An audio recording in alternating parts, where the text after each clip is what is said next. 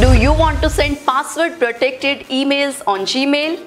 Well, emails are the most popular means of communication in most organizations. And if you are sending an email with confidential or sensitive information, you would want to make sure it reaches only the authorized person. The best way to ensure it is to encrypt or password protect the mail. In this video, I'll tell you some easy ways to send password protected email via Gmail.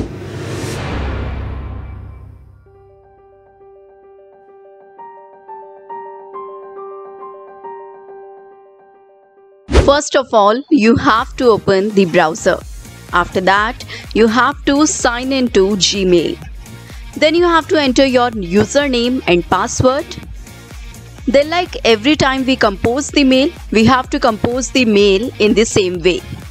We have to enter the receiver's mail ID, then type the subject of the receiver's mail and type the mail as I type.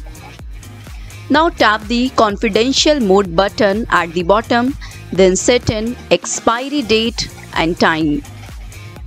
And here you can see two options no SMS passcode or SMS passcode. If you want to send your mail without a passcode, then you can choose the no SMS passcode option.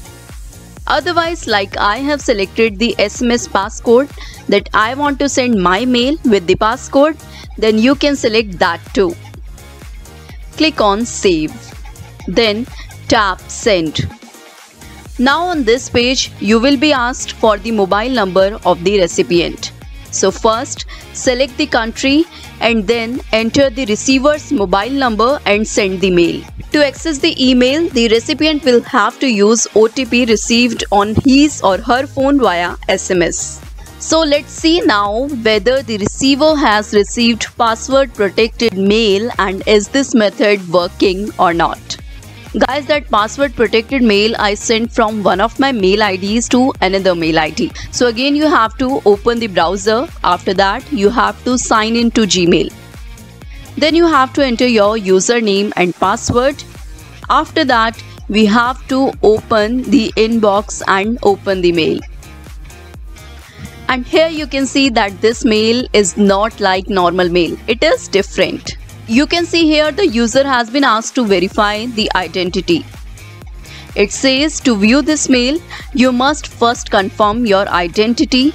A one-time passcode will be sent to the mobile number. Tap on send passcode option and you have to enter the passcode that has been received on your number.